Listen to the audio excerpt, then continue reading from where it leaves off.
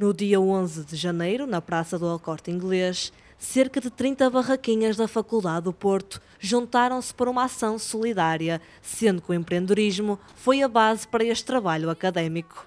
Nós estamos aqui no âmbito da, da cadeira de hum, empreendedorismo, que recorre desde cursos de, hum, de, saúde, de restauração, de hotelaria, de turismo.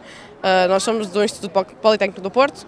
A minha faculdade é a Escola Superior de Hotelaria e Turismo e nós tínhamos que conseguir arranjar uma forma de podermos fazer um negócio em que pudéssemos englobar uh, de maneira possível coisas da nossa área ou então coisas diferentes, mas o importante aqui era conseguirmos uh, criar maneiras de, de, empreendedorismo para que nós no nosso futuro consigamos também uh, adquiri-las melhor e conseguirmos arranjar e obter uh, lucros e conseguirmos aprender a fazer essas coisas.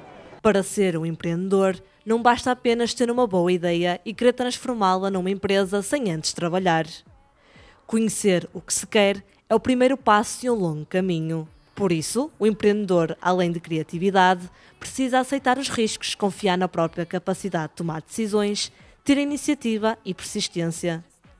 Neste âmbito, estas iniciativas da faculdade são de extrema importância.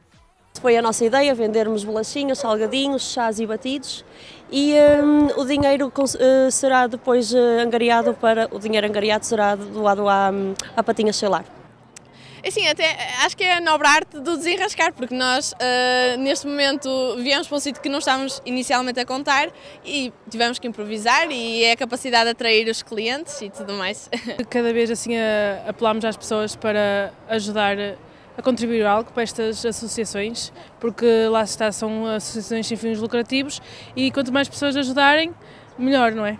Estes alunos que dedicaram o seu tempo ao empreendedorismo admitem que o mais importante é ganhar experiência e o lucro é apenas um bónus. Ah, espero, acho que já enriqueci o facto de estar aqui, poder estar a, a falar com o público, a interagir com as pessoas.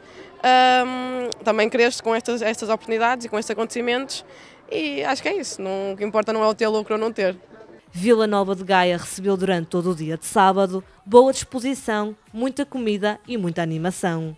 Estes jovens estudantes foram empreendedores por um dia.